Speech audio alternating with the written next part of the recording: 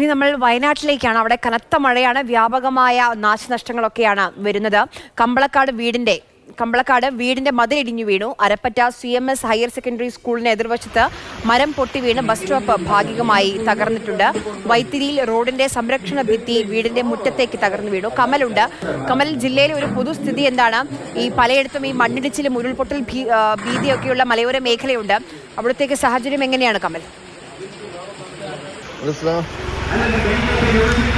ആര്യ മറ്റ് ജില്ലകളെ അപേക്ഷിച്ച മഴയുടെ ശക്തിയും മഴക്കെടുതികളും വയനാട്ടിൽ കുറവാണ്. ബാണാസുര സാഗർ ഡാമിന്റെ വൃഷ്ടി പ്രദേശത്ത് മാത്രമാണ് ശക്തമായ മഴ പെയ്യുന്നത്. ഇത് കോഴിക്കോട് അതിർത്തിയിൽ കക്കയം ഭാഗത്തോട് ചേർന്നുള്ള ഈ പ്രദേശത്താണ് കഴിഞ്ഞ ദിവസം ഇരുപത്തിനാല് മണിക്കൂറിനിടെ മുപ്പത് മില്ലിമീറ്ററോളം മഴ രേഖപ്പെടുത്തിയത്. അതേസമയം മറ്റ് സ്ഥലങ്ങളിൽ മഴ ഇടവിട്ടാണ് പെയ്യുന്നത്. ഇടയ്ക്ക് ശക്തമായ മഴ പെയ്യുന്നുണ്ട്. അതുകൊണ്ട് തന്നെ വെള്ളപ്പൊക്ക ഭീഷണിയോ മണ്ണിടിച്ചിൽ ഭീഷണിയോ ഒന്നും ഒരു സ്ഥലത്തും റിപ്പോർട്ട് ചെയ്തിട്ടില്ല. ഒറ്റപ്പെട്ട ചില സംഭവങ്ങളാണ് ഉണ്ടായത്. കമ്പളക്കാട് ക്രൈംബ്രാഞ്ച് ഓഫീസിന് സമീപത്തൊരു വീടിന്റെ മതിലിടിഞ്ഞ മറ്റൊരു വീടിന് സമീപത്തേക്ക് വീണു.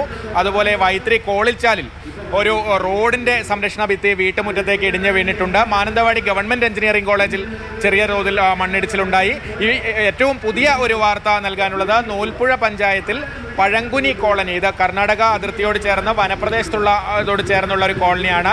അവിടുത്തെ ഏഴ് കുടുംബങ്ങളെ കല്ലൂർ ഹൈസ്കൂളിലേക്ക് മാറ്റി പാർപ്പിച്ചിട്ടുണ്ട് സമീപത്തെ പുഴയിൽ ജലനിരപ്പ് ഉയർന്നതിനെ തുടർന്നാണ് ഇവരെ സുരക്ഷിതമായി മാറ്റിയത്. ഇരുപതോളം പേരെയാണ് ഇത്തരത്തിൽ മാറ്റി താമസിപ്പിച്ചത്.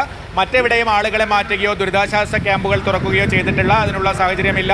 നിലവിൽ സ്കൂളുകൾക്കും അവധി നൽകിയിട്ടില്ല. എല്ലാ വിദ്യാഭ്യാസ സ്ഥാപനങ്ങളും തുറന്നു പ്രവർത്തിക്കുന്നുണ്ട്.